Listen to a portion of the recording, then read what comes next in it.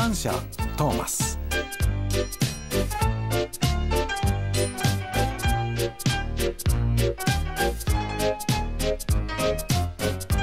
バルジーと鶏というお話。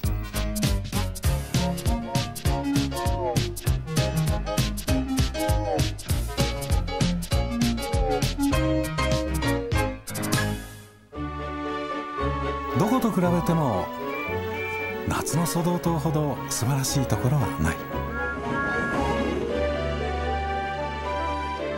機関車たちは素晴らしい観光地に行楽客を案内できることがとっても嬉しかった。しかしこの年問題が起こった。トーマスとエミリーが修理のために工場に入ってしまったのだ。たくさんの乗客を運ぶ方法を考えんともっと行楽客がやってくるからな。でも機関車が足りません問題が2階建てですね。問題が2階建てね。うん。この言葉にトップハムハット卿はひらめいた。トップハムハット卿はまっすぐバルジーのところへ向かった。バルジーは2階建てのバスだ。しかしバカな事故を起こして今は鶏小屋になっているバルジー朗報だぞ。お前を道路に戻してやろう。ありがとうございます。最高のバスになってみせます。バルジーは鶏小屋なんてうんざりだった。翌朝バルジーは修理工場へ行った。バルジーここに何しに来たの？修理してもらうんだ。道路に復帰するんだよ。きっと農家のお手伝いをするのね島の人たちが野菜を売りたいそうだから。野菜？俺はお客さんを乗せるんだ。間もなくバルジーは中も外もきれいに修理された。スマートでピカピカしたその姿にジェームスも見とれている。わあ。バルジーが空き地に戻ってきた。メンドリたちは小屋がきれいになっているので驚いている。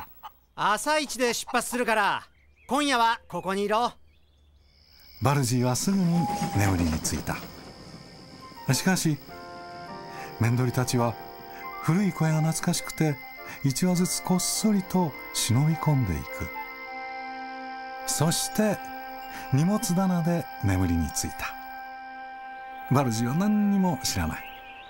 翌朝彼は大勢の乗客を詰め込んだ。発車オーライクラクションを鳴らすと駅を出発した。バルジーがあまりにも滑らかに走ったのでメンドリたちは目を覚まさなかった。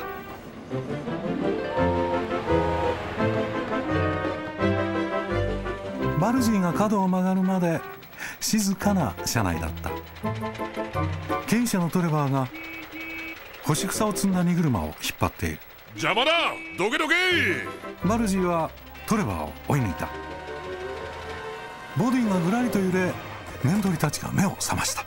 お客はパニックだ。バルジーの運転手はもうコントロールできない。メンドリたちは怯えて羽をバタバタさせギャーギャー泣いた。止めろ！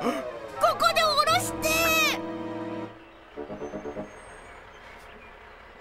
乗客たちの体は羽毛と卵にまみれてる。彼らはカンカンに怒っていた。このバスは面取りだらけじゃないの。トッパーマート卿に報告してやる。俺のせいじゃないよ。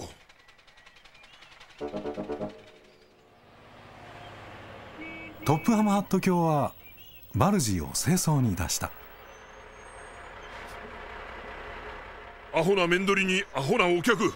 両方が揃っちまったよ農家の人がまだ野菜を売るのに困ってるわ。野菜のバスか。悪くないね。僕たちももう乗客を運べるようになったし。バルジーは新しく緑に塗り替えられおしゃれなハッチもついた。野菜は卵も産まないし文句も言わないから今は大満足だ。バルジーは島でたった一台の車付き野菜スタンドだとみんなが認めているこの話の視線はトーマスエミリージェームストレバーそしてバルジーでした。